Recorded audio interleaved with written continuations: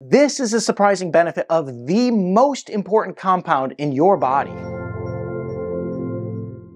Hey Wellness Warrior, I'm Dr. Nick Zyrowski, and that incredibly important compound is vitamin D. I'm going to share with you why you need to take vitamin K2 with it, how much we need, and the top symptoms to look out for for a vitamin D deficiency. So let's go ahead and dive right in. And the first big fact that nobody talks about is that vitamin D is not a vitamin at all. It is a hormone.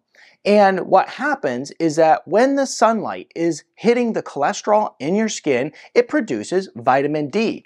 Now this is so cool because this is the only nutrient that your body is actually capable of producing and it's critically important. Vitamin D is found in every cell in your body and is absolutely necessary for a proper immune response. It's necessary in order to help you feel well. It's necessary for you to have proper energy. It's necessary to reduce inflammation and studies show that vitamin D at sufficient levels can reduce cancer by 75%.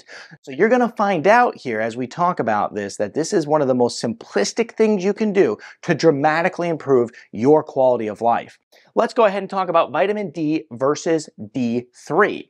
Now, which one should you take? Well, you want to be taking the active form vitamin D3. And the reason for this is because studies show that you can actually get two times the bioavailability and increase the amount of vitamin D in your body twice as fast by taking vitamin D3. So if you're ever left with an option to take vitamin D or D3, you always want to go with the D3. Now, the next number probably number one question that people ask me is, what about K2? Is it important to make sure that you're taking vitamin K2 when you take your D3? I can't stress to you enough how critically important this is to make sure you're taking vitamin K2 with your D3.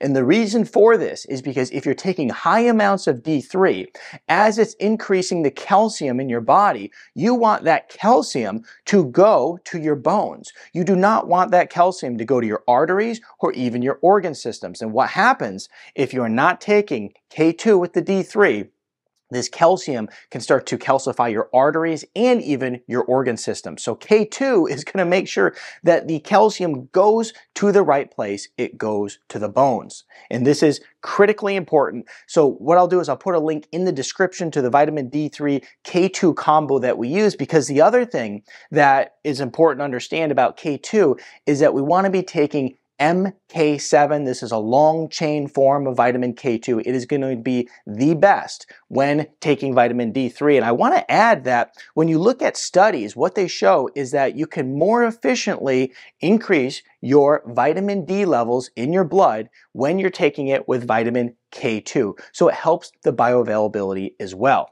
Now, can vitamin D come from food? Well, now we talked about vitamin D coming from the sun, and one of the big problems with vitamin D coming from the sun is that nobody spends enough time in the sun anymore and getting sunlight on their skin.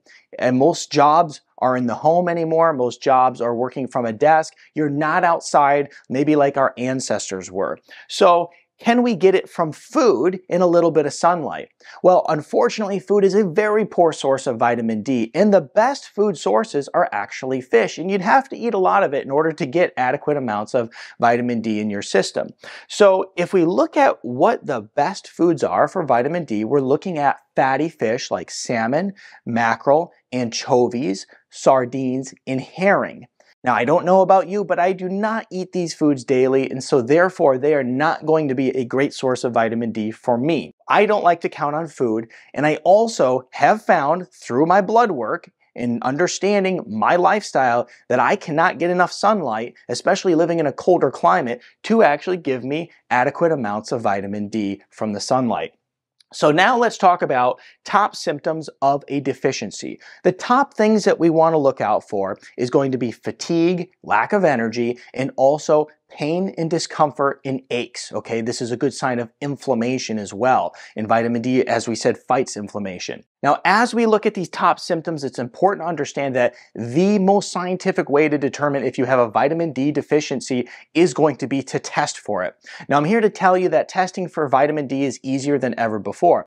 In fact, we actually use in my clinic these little testing kits, and what you do is you put a little pinprick in the end of your finger, you put a few little dabs of blood on a test card, you send it into the lab, and then they will tell you whether you're vitamin D deficient or not. It's very simple. Anybody can do it. It's done right in the comfort of your home. It's inexpensive.